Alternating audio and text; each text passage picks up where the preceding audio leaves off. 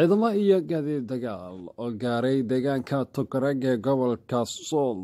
wararka naga soo gaaraya deegaanka tukareg ee gobolka sool ayaa waxa ay sheegayaan in saacadihii la soo dhaafay halkaasi ku sii qulqulayeen ciidamo aada u fara badan oo wata gaadiidka dagaalka. Warar aan helnay ayaa waxa ay sheegayaan in ciidamo aada u fara badan oo ka yimid magaalada qardhe ee gobolka bari ay gaareen deegaanka tukareg kuwaasi oo ah kuwo toddobaad gudihiisa halkaasi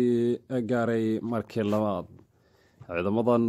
ayaa waxa ay ku biirayaan ciidamada puntland ee ku sugan deegaanka tukareg kuwaasi oo dagaalku ciidamada maamulka somalilan dhinaca kale maamulka somalilan ayaa iyana dhankooda waxa ay ciidamadii ugu badnaa geynayaan deegaanka tukareg waxaana taasi ay dhalisay in weli xiisadii dagaal ee ka taagneyd halkaasi si korodho. Mas'uuliyiinta labada maamul ee puntland iyo somalilan ayaa waxa ay hawada isu marinayaan hadallo sii hurin kara. Colaad ka taagan deegaankaasi waxaana weli